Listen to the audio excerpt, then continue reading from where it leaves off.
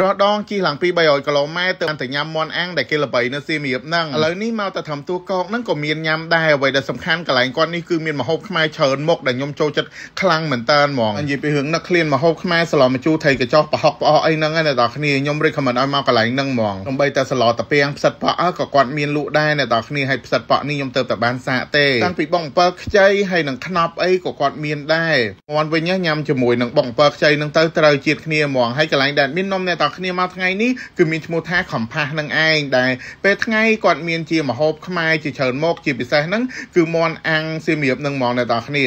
ព្រោះដងបើសិនជាឃ្លានចង់ញ៉ាំមកត្រូវចំណាយពេលជិះឡើង2 300គីឡូអីបានទៅដល់តែឥឡូវហ្នឹងមិនបាច់ទៅណាឆ្ងាយទៀតទេបើឃ្លានខ្ជិលធ្វើដំណើរឆ្ងាយអាចមកញ៉ាំត្រឹមកំផាសទូកោកយើងនឹងបានចំពោះមន់អាំងហ្នឹងគឺគាត់យកមកពីសៀមរាបផ្ទាល់ផ្ទាល់ហ្មងគាត់ទិញមកពីនឹងគាត់មានម៉ួយគាត់ទៅអ្នកទាំងគ្នាដល់ពេលឲ្យរសជាតិវិញគឺអត់ខុសគ្នាប្រហែលទេ តាំងពីទឹកលៀបតាំងពីរសជាតិសាច់មាន់នេះនឹងគឺឆ្ងាញ់ដូចគ្នាតែម្ដងបើខ្ញុំមកមុននឹងខ្ញុំមកថតហ្នឹងគឺខ្ញុំម៉ួយសាច់មាន់ផ្លូវមាន់អាំងរបស់គាត់នឹងហ្មងសឹងតែថាឲ្យតែជីកាត់កន្លែងគាត់គឺតែងហីហើយបើនិយាយពីរឿងម្ហូបខ្មែរវិញគឺថាមានច្រើនមុខខ្លាំងមែនតើមានតាំងពីថៃអាំងថៃចៀនបុកអំពិលខ្នប់ហើយ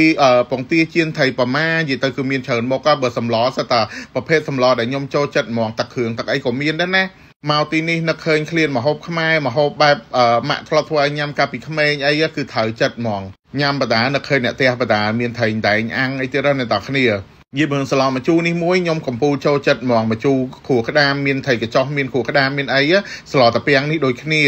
អ្នកដែលចូលចិត្តផ្សិតប៉ក់អីអាចទៅសាកស្លតាពាំងផ្សិតប៉ក់របស់គាត់បានគាត់នៅមានលក់អញ្ចឹងណា ថ្ងៃនេះខ្ញុំមករៀងគ្នាច្រើនដែរ4 5 6នាក់អញ្ចឹងហៅរៀង4 5 6 7មុខដែរដោយសារតែហៅម្នាក់មួយមុខម្នាក់មួយមុខពេញតុកតែម្ដងហើយបើផ្អកនេះវិញញ៉ាំចុះបាយសាហាវហ្មងអ្នកដែលចូលចិត្តផ្អកយល់អារម្មណ៍ហ្នឹងហើយពួកខ្ញុំគ្រាន់តែដាក់មកភ្លាមគ្រាប់1 2 3អស់ហ្មងខ្ញុំវិញគឺថាចូលចិត្តសឹងទៅថាអាទឹកផ្អកគេដែលចំហុយហ្នឹងយកមកស្រូបពីលើបាយញ៉ាំទៀតហ្មងចូលចិត្តខ្លាំងមែនតើប្រហុកផ្អកអីហ្នឹងគឺថាទៅណាក៏អត់ដែរចោលដែរ ម្នាក់ម្នាក់ញ៉ាំបដាលើកមេដៃឲ្យបដាដោយសារតែឆ្ងាញ់ពេកចោះថៃនេះគឺគាត់ជៀនឡើងស្រួយដាក់ជាមួយនឹងជ្រូកស្វាយចេះទៀតមកនិយាយថាអែមអញ្ចឹងបានថាមហូបនៅទីនេះគឺមលៀនមុខហ្មងហើយអានេះខ្ញុំហៅតែមួយចំនួនទេណាអ្នកទាំងគ្នានៅមានមហូបផ្សេងទៀតនិយាយទៅគឺមានច្រើនណាស់ហើយអ្នកទាំងគ្នាចង់មកញ៉ាំពេលថ្ងៃក៏បានឬក៏ចង់ទៅញ៉ាំអីឈៀលឈៀលបែបស៊ុបបែបសាច់អាំងអីពេលល្ងាចក៏គាត់មានដែរនិយាយទៅគឺគាត់បើកតាំងពីថ្ងៃរហូតដល់យប់តែម្ដងគឺ